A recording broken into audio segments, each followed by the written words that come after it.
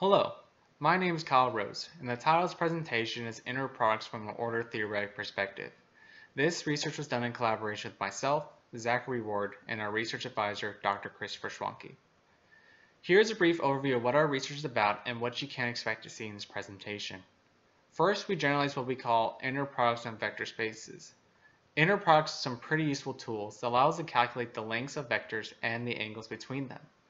And finally, we reprove some famous results and even generalize them to more abstract settings using order theoretic techniques. Now, before we get to that last point, we need to define several things.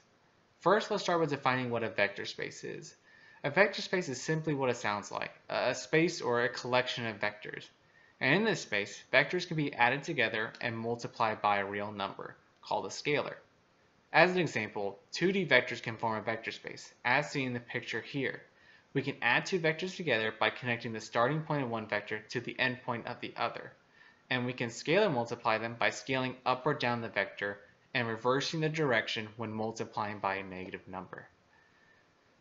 Here's how we denote 2D vectors and what it will look like on a graph. The name of the vector is in bold and is written as the terminal point xy with angle brackets instead of parentheses. And looking at the graph, you can see it's depicted as an arrow that starts at initial point 0, 0 or the origin and points to a terminal point x, y. Now we can finally define what an inner product is. Think of this as like multiplying two vectors. We take two vectors, multiply their x and y's, and add them together. It is important to note that we do get a real number solution here.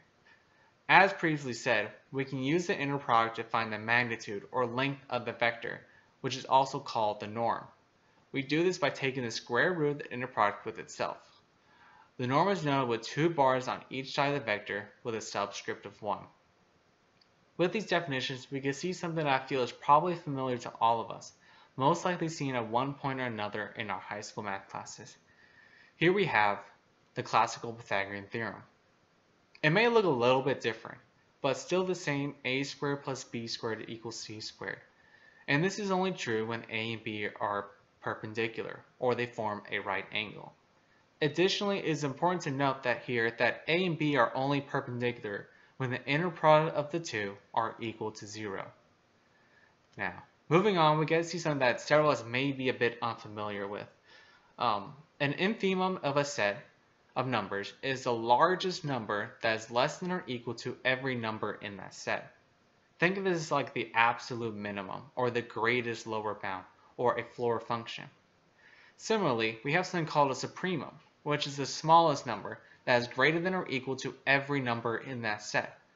Once again, think of this as like the absolute max, or the smallest upper bound, or ceiling function. As an example, let A be this set of real numbers that include 1, 10, 4, 5, and a decreasing sequence that approaches 0. Clearly, 10 is greater than or equal to every number in A, so it must be the supremum. Now, the infimum of A is 0 because while it's not in A, it is less than everything in A, but is greater than any other lower bound, like for example, negative 1 or negative 10. Now, let's define what M2 is. M2 is a set or a collection of all 2 by 2 matrices with real number entries. For example, a and B here are uh, in M2 because it has the correct form. There's two rows and two columns, and each entry is a real number. So naturally, matrices have operations. We can add them together, and we can multiply them by some scalar. So thus, M2 is a vector space. Also, M2 is an example of an order space because we can write A is less than or equal to B when every entry in A is less than or equal to the corresponding entry in B. So we can use this to find an infimum of two matrices. We just need to take the smallest of each of the two corresponding entries. And similarly, this works for a supremum, but instead taking the largest of each of the two corresponding entries. Now lastly, we need to define two new vectors, u and v, such that they are 4D vectors. We can tell they are 4D because they have four variables, w, x, y, and z. Also, let's define a new generalized inner product, t hat, where we take in the two 4D vectors and we get a 2 by 2 matrix. This is extremely important to understand because we aren't getting a real number as an answer, like the first definition of an inner product. So now we're bringing everything full circle. The norm, or length, of a 2D vector must satisfy this new theorem. Why? This is actually derived from the geometric mean. We can see this by looking inside the square root. It is the square root of the inner product times 1. This observation allows us to define a new generalized norm that works for any 2 by 2 matrix with all positive entries.